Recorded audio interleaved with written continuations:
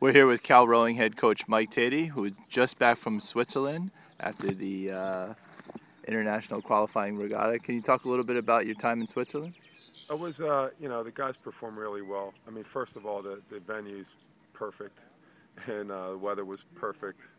Uh, the food was perfect, and uh, and they rode they rode a really good race and qualified for the Olympics. So we're relieved, more relieved than happy. How did the race go from your standpoint? Uh, you know, according to plan, I think that they, they controlled the race from the beginning.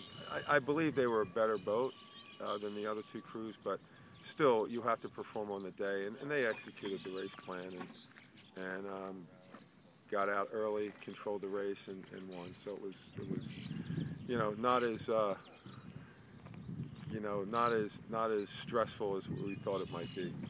And I know you've been a part of many Olympics before, but how gratifying is it now to to now go to the Olympics and qualify for the Olympics and be there in London? Well, it's more for the athletes. You know, I've been to, like this will be my eighth Olympics, but more for them. They worked hard. They're they're a really fine group of people, and um, easy group to work with. So yeah, I was happy for them. I mean, they, you know, for most of them, it's their first Olympics, and it's a big you know, it's, it's, it's a great accomplishment for them, and uh, and hopefully we, you know, we'll, if they want to get to the podium, they're going to have to get faster because, uh, you know, the times they rode over there weren't really earth-shattering, but they were good enough to qualify. So now, now we need to step it up, and and pick up some speed and and try to get to the podium.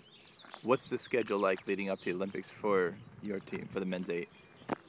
Well, we'll they will actually they'll probably go to San Diego for a week and train with the with with Tim, and uh, while I'm at the IRA, and then they'll come back here uh, probably a week later. So uh, and we'll train here and, and just do all the normal distance and you know stuff we need to do to get to get faster. Turning our attention to Cal, you came back from Switzerland last night. You're on the water here at Briones this morning, preparing for the IRAs over in New Jersey. It's been a pretty busy schedule for yourself. Yeah, look, the coaching part's the easy part.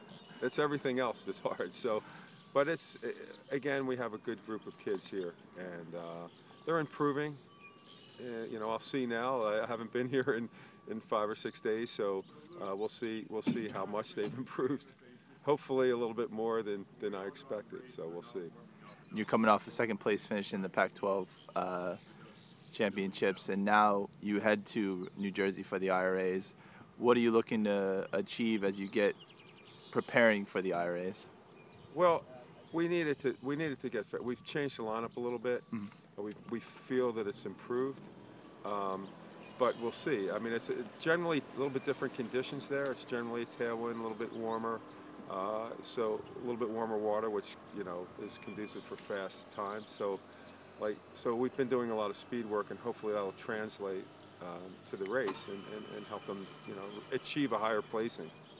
And what's your schedule like? When will you leave for New Jersey, and how you will train? We leave tomorrow morning. So I was in Switzerland. I flew back for two practices today, and then I fly back to the East Coast tomorrow morning. So it's, uh, you know, I'm pretty good with frequent flyer right now. So.